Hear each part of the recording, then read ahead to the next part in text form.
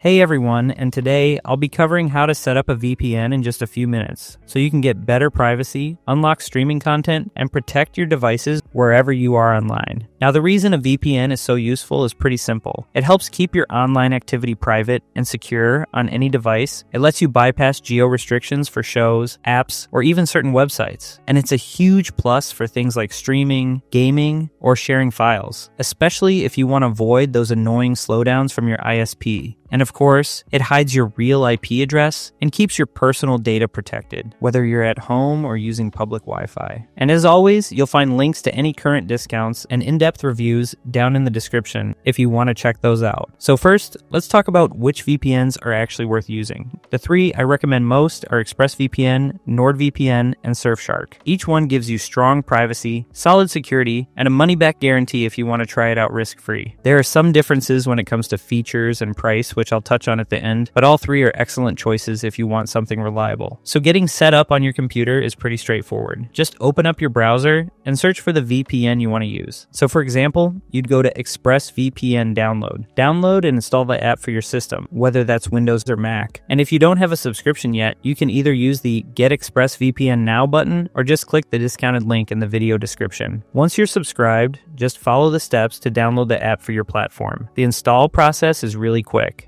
Just a couple of prompts to click through. When it's time to activate, just copy your activation code from your email or account page and paste it into the app when you sign in. That's all there is to it. For most people, the default settings are perfect right out of the box. But if you want the fastest speeds and best security, it's worth setting the protocol. ExpressVPN's Lightway protocol, NordVPN's NordLynx, or Surfshark's WireGuard protocol all give you the best performance. It only takes a second to change in the settings if you want to double check. Now for mobile, it's just as easy. Go to the App Store Store or Google Play, search for ExpressVPN, NordVPN, or Surfshark, and download the app. Once it's installed, you can sign up right there and again, set your protocol if you want to make sure you're getting the best speed and privacy. ExpressVPN and Surfshark both offer a 7-day free trial on mobile, and NordVPN does as well on Android. And of course, all three give you a 30-day money-back guarantee if you want to try them risk-free. So what about devices that don't have a VPN app, like some smart TVs or older streaming boxes? There are a couple of options options here. If your router supports VPNs, you can just install the VPN right at the router level. This way, every device on your network is protected automatically. All you need to do is check your router's manual or log into the admin panel and follow the steps from your VPN provider. Usually, you'll just upload a configuration file and enter your account details. Once that's done, you're all set. And if your router doesn't support VPNs, you can always set up a VPN hotspot from your computer. On Windows, just go to Settings, then Network and Internet, and turn on Mobile Hotspot. Pick your network and set a password. On Mac, it's under System Preferences,